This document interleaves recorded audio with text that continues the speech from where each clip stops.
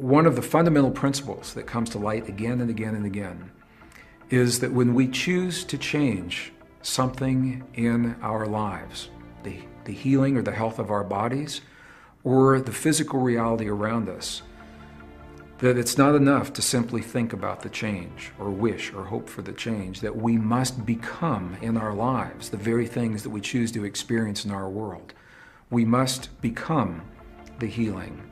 We must become the cooperation. We must become the peace, and to the best of our abilities, live that principle every moment of every day in our lives before we can actually experience it in our world.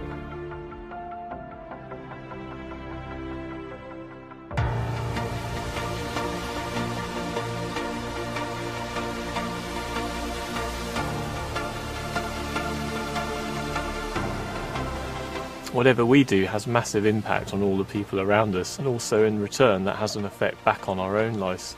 So, therefore, the, you know, the lesson here is, is the simple one that Gandhi came up with: be the change that you want to see in the world. So, through changing your changing yourself to be what you want the outer world to experience, you start becoming that experience, and that influences other people, who then go on to influence other people, and more and more and up or in other people. And the closer you are to the change that you want to see in the world, the more likely you are to experience that world as you see.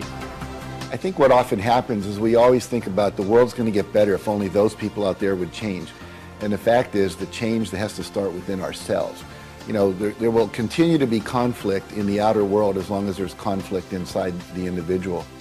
What is it about myself that I'm seeing in the world around me that I'd like to change, something that maybe I don't like in the world or I don't like uh, uh, in, in my family or in my workplace or something like that. How does that relate to something that I am or that I claim in my personal life? And, and I think this is where the great leaps in personal growth occur is the honesty.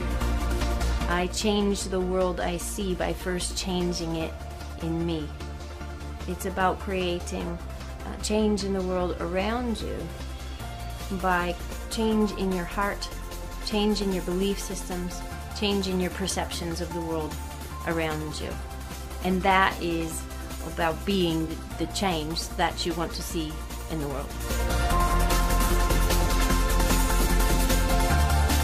I think everybody can make a difference in the world, and you know, some some obviously only in a quite a small way. Um, you know, some some in a big way. You don't have to be a politician.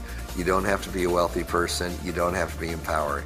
You can be any living thing on this world. And if you just walk down the street and smiled at someone coming your way, you're already exchanging happiness and giving out the love.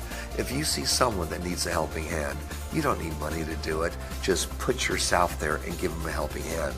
I live by a motto that says each and every day we have the chance to make a difference in the life of another person. Everybody can make a positive difference.